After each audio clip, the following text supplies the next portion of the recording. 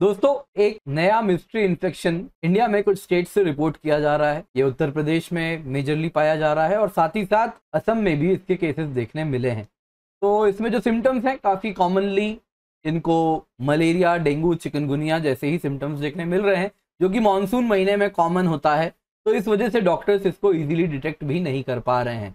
तो क्या है ये मिस्ट्री इन्फेक्शन आइए आज इसके बारे में चर्चा करते हैं। तो दोस्तों, इससे पहले आगे बढ़ूँ, आपको बता देता हूँ, मेरा नाम किंजल चौधरी है। आप मुझसे मेरे टेलीग्राम चैनल पर जुड़ सकते हैं, जहाँ पर लेक्चर के उपरांत आपको पीडीएफ अपडेट्स मिल जाएँगे और साथ ही साथ नीचे दी गई मेरी अन अकेडमी प्रोफ़ाइल है, जहाँ पर यदि आप मुझसे जुड़े तो मेरे द्वारा बनाई गई जितनी भी फ्री स्पेशल क्लासेस हैं, उनकी नोटिफिकेशन आपको वक्त के साथ मिलती रहेंगी। तो दोस्तों, इससे पहले आगे और जाएँ, आपको आज का एक सवाल दिखा देता हूँ। तो आप अपना आंसर मुझे कमेंट सेक्शन में बता सकते हैं, क्या आंसर है इस सवाल का? ये तो लेक्चर के उपरांत आई एम प्रिटी श्योर आप इजीली कर पाएँगे।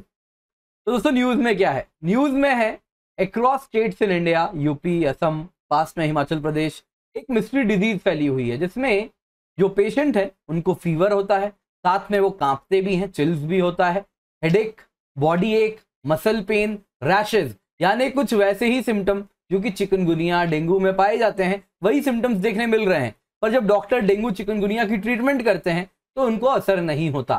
क्योंकि कारण है दोस्तों, इनको चिकनगुनिया या डेंगू नहीं है। इनको जो बीमारी है, वो है स्क्रब टाइफस।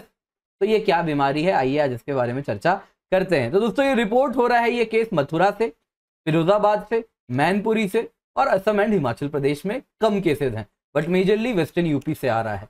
तो आइए आज इसी स्क्रब टाइफस के बारे में जानते हैं। तो स्क्रब टाइफस, इसको बुश टाइफस भी कहते हैं। एक बीमारी है जो कि एक बैक्टीरिया से होती है।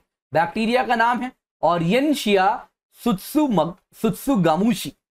तो जापान में 1930s के आसपास ये पहली बार बैक्टीरिया आइसोलेट करके पाया गया था कि बीमारी होती है, तब से इसका नाम है ऑरियनशिया सुत्सु गामुशी। तो ये infection bites of infected chiggers के द्वारा होता है। यानी दोस्तों एक कीड़े हैं, घुन जैसा आप देखें तो उसके जैसे ये कीड़े हैं तो उसके काटने से होता है। तो ये लार्वल माइट, क्योंकि बड़ा वाला जो होता है, वो नहीं काटता है। तो एडल्ट चिगर्स इनको चिगर्स कहते हैं, ये जो आप फ़ोटो में देख रहे हैं यहाँ पे दीज आर चिगर्स तो दोस्तों एडल्ट चिगर बाइट नहीं करता। बाइट करता है जब ये छोटा होता है लार्वल फॉर्म में। तो लार्वल स्टेज में ये जो बेबी बाइट तो बेबी चिगर जिसको कहा जा रहा है baby bite are the most dangerous तो ये जो बेबी चिगर है, यही बाइट करता है। और इसमें ये बैक्टीरिया ऑरियंशिया सुत्सुगामुशी हो सकता है। ये वेक्टर है इस बैक्टीरिया का। और इस प्रकार से स्क्रब टाइफस बीमारी हो सकती है। तो ये माइट्स कहाँ मिलते हैं? आप लोगों ने देखा होगा, घास में ग्रासी एरियाज़ में फॉरेस्ट में फ़ील्ड में लॉन में लेक में स्ट्रीम में, हर जगह देखने मिलते हैं। तो ये बीमारी दे रहे हैं और इस बीमारी के काफ़ी भयानक सिम्टम्स हैं। तो यूजुअली काटने के दस दिन बाद जब ये कीड़ा काटता है बेबी इंसेक्ट जब काटता है, उसके दस दिन बाद इन्फेक्शन देखने मिलता है। तो दस दिन के बाद फीवर होता है चिल होता है चिल्स यानी आपको कांपते हैं। जैसे मलेरिया में आपने एक्सपीरियंस शायद किया होगा, बुखार के साथ शरीर कपकपाती है तो वैसे ही कपकपाना भी होता है हेडेक आता है बॉडी एक मसल पेन इसके सिवा जो साइट होता है जहाँ पे काटा है, वहाँ पर जहाँ पे कीड़े ने काटा है, उस जगह पे आप देखें तो इस तरीके का स्कार भी देखने मिलता है, उस साइट पे। तो वो डार्क हो जाता है एंड इसी को स्कार कहते हैं E S C H A R इसके सिवा मेंटली भी आपको इम्पैक्ट हो सकता है कंफ्यूजन हो सकता है। कई केसेस में कोमा में भी पेशेंट्स चले जाते हैं लिम्फ नोड्स बढ़ जाते हैं और रैशेज आते हैं।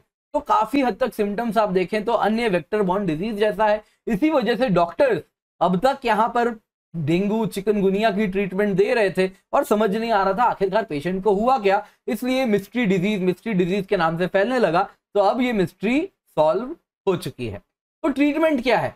ट्रीटमेंट है दोस्तों, एक एंटीबायोटिक डॉक्सीसाइक्लिन ये डॉक्सीसाइक्लाइन आप दे दे और ये किसी भी एज के पर्सन को दिया जा सकता है। तो ऐसी कोई बात नहीं है कि सिर्फ़ एडल्ट को ही दे सकते हैं। तो ये चिगर बाइट के बाद जैसे ही सिम्टम आने शुरू हो गए, ये एंटीबायोटिक्स देना शुरू कर दें।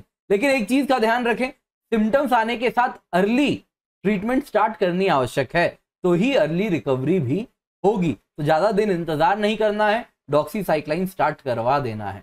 तो अब डॉक्टर्स को भी ये समझ आ गया है। ग्लोबली देखे दोस्तों तो कोई नई बीमारी नहीं है, ना ही ये कोई ऐसी बीमारी है जो कि भारत में पहली बार मिल रही है।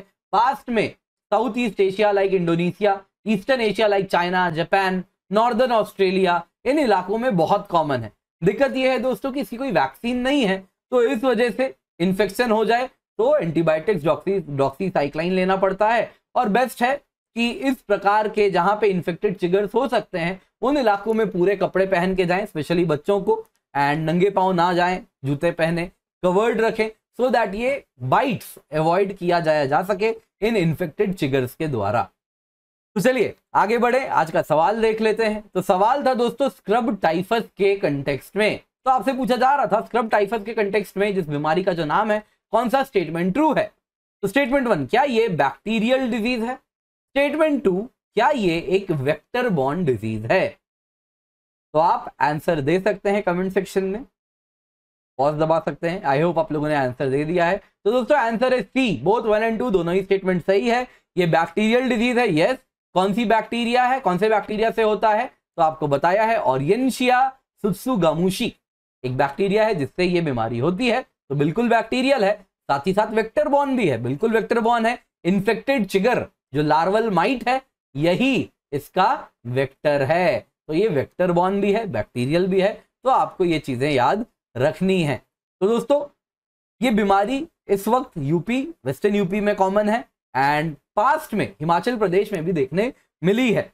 एंड इंडिया के इस इस टाइम पे मानसून वाला जो सीज़न होता है, उसी टाइम में ये बीमारी देखने मिलती है। तो ऐसा भी देखा गया है कि डॉक्टर्स हमेशा कंफ्यूज हो जाते हैं इसको किसी मलेरिया से या डेंगू या चिकनगुनिया से कंफ्यूज करने में। तो आपको इसके बारे में जानना था स्क्रब टाइफस क्योंकि अब न्यूज़ में आ गया है। तो बेस्ट होगा, आप इसके बारे में डेप्थ में जाने, इसको अच्छे से समझें। तो दोस्तों आई होप आपको आज की क्लास पसंद आई हो। तो जब भी अन अकेडमी आए use code K C one zero क्योंकि इससे आपको सिर्फ़ टेन परसेंट ऑफ़ नहीं मिलता बेस्ट मेंटरशिप मिलेगी डायरेक्ट हैंड होल्डिंग मिलेगी बेस्ट नोट्स मिलेंगे, और जो गाइडेंस है वो सारे subjects of GS S and geography optional को कवर करती है। तो जब भी आए यूजी कोड के सी वन ज़ीरो क्योंकि आपको इससे मेरी मेंटरशिप मिलेगी। मैं बस एक कॉल की दूरी पर रहूँगा तो दोस्तों, ये मेरी अकेडमी प्रोफ़ाइल है, जहाँ पर आप मुझसे जुड़ सकते हैं। बहुत सारी फ्री स्पेशल क्लासेस हैं। आप देख सकते हैं। तो आज भी होने वाली है, रोज होती है, कुछ फ्री स्पेशल क्लासेस होती रहती हैं। तो पॉलिटी को हम क्वेश्चन वाइज एमसीक्यूज के थ्रू डिस्कस कर रहे हैं। तो ये सारी अपकमिंग लाइव स्पेशल क्लासेस हैं। बहुत सारी रिकॉर्डेड स्पेशल क्लासेस हैं। Environment geography science and tech सभी कुछ कवर्ड आपको मिलेगा। तो ज़रूर जाएँ इस प्रोफ़ाइल के थ्रू मुझे फॉलो करें। दोस्तों, नया फीचर भी आ गया है रेज अ हैंड तो इसमें आप अपने फेवरेट एजुकेटर से हाथ उठा के सवाल पूछ सकते हैं वॉइस के थ्रू एंड ऑफलाइन में भी ऐसी फैसिलिटी नहीं होती, जो आपको हम ऑनलाइन पर दे रहे हैं। तो इंडिया के बेस्ट एजुकेटर्स हमारे साथ जुड़े हुए हैं और हम UPSC CSC three in one offer भी रन कर रहे हैं। तो एक बार आपने अकेडमी सब्सक्रिप्शन ले ली तो जितने भी एजुकेटर्स हैं, जितने भी कोर्सेज हैं, सारा का सारा प्रोग्राम आपको अवेलेबल हो जाएगा। तो अकेडमी नोट्स भी आपको हम दे रहे हैं, दस हज़ार रुपए की कीमत की लोन भी प्रोवाइड कर रहे हैं। दो मंथ की सब्सक्रिप्शन भी है तो केसी वन ज़ीरो कोड का इस्तेमाल करें।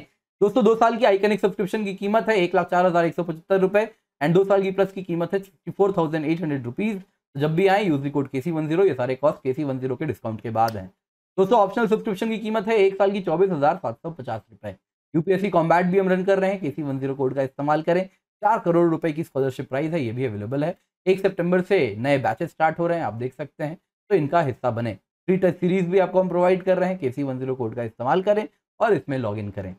दोस्तों, अगर आप 2022 में एग्ज़ाम देने वाले हैं तो आपका रास्ता कैसा होगा जर्नी कैसी होगी? हमने ऑलरेडी पूरी प्लान कर दी है। एक सितंबर से इकतीस मार्च तक हम बैच कोर्सेज रन कर रहे हैं, जिसमें आपको कॉम्प्रिहेंसिव तरीके से प्रीलिम्स एंड मेंस के लिए रेडी किया जाएगा। एक अप्रैल से इकतीस मई तक आपको हम प्रिलिम स्पेसिफिक पढ़ाई करवाएँगे तो प्रिलिम स्कोर बूस्टर होगा पीटी सिक्सटी फाइव कोर्सेज होंगे, और पाँच जून में आपको प्रिलिम्स देना है। तो उसके बाद आपको पाँच दिन के बाद वापस मेंस का प्रोग्राम हम स्टार्ट कर देंगे। Mission A I R one जो कि बैच कोर्स होगा मेंस के लिए, और 16 सितंबर को आप मेंस देंगे।